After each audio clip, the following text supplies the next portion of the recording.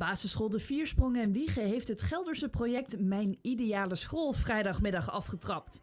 De leerlingen dragen bij aan het project omdat ze zich afvragen waarom er zoveel plastic verpakkingen gebruikt worden in de supermarkt.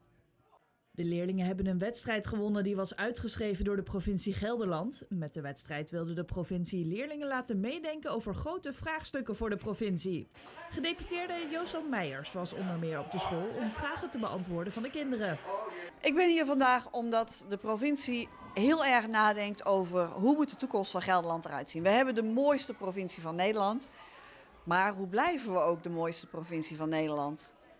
Want er moet heel veel gebeuren.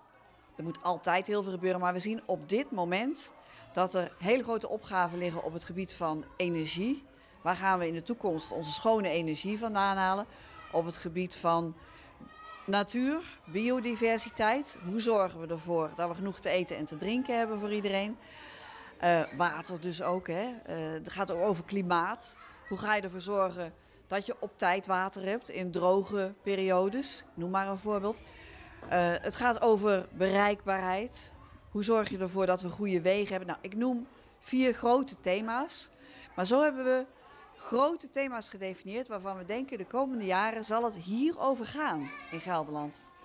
En wat wij willen is dat scholen, wat wij hopen, is dat scholen daar ook over mee gaan denken. Dus we hebben een prijsvraag uitgeschreven voor alle scholen van Gelderland, alle basisscholen van Gelderland, waarin we zeggen: wie van jullie heeft een goed idee als het gaat over deze thema's?